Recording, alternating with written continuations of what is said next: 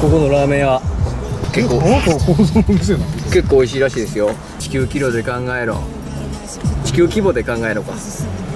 ラーメン屋ここ結構人気あって。いろんな雑誌とかでもよく載ってるらしいですよ。こっちがこっち左かわいそうですね。なんか。え左側だと？ここの構造の店。なのあい行った人に聞くと川と構造のお店あんま美味しくなかったっていう 聞きましたね。そうだ。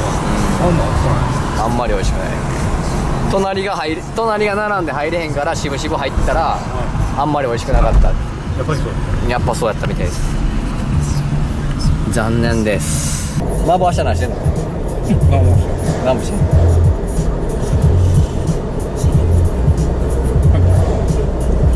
なんで？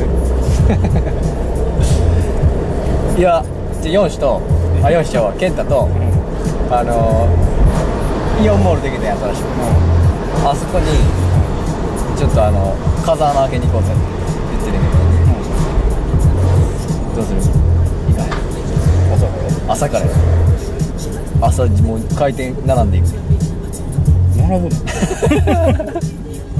風穴開けるわけですからねまあ朝からっていうかまあ昼ぐらいか。昼まあぐらいから俺も仕事あるからさ、あんま調子乗れへんけど。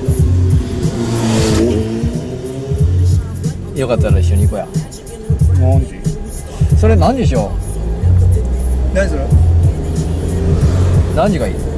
え別に俺何時でも8時でいや。早いよ。何時から多分10時からやろう。んうん。8時早いよ。8時早いか空いてへんか。8時は。入ってへんね。空いてへんわな。まだ。10時やもんな、うん。それは2時間な、ん。そらあかんわ。どうしよう。じゃあほんならどうしようかな。何にしよう。まあそれはもうちょっと後で考えようか。俺でも8時から行きたいな。8時から。8時から。よし到着でございます。次第に到着です空いてるかな？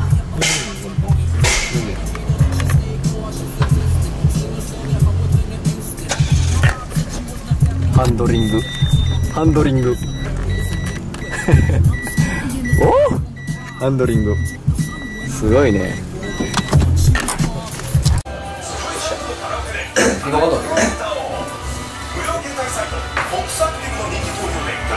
すげえこれ。iPad みたいな。ジョイパット。お前それ用意してたよそれ。ジョイパットって言うの。用意してたよ。ってたよ。待ってたよ待ってたよ。ずるいわ。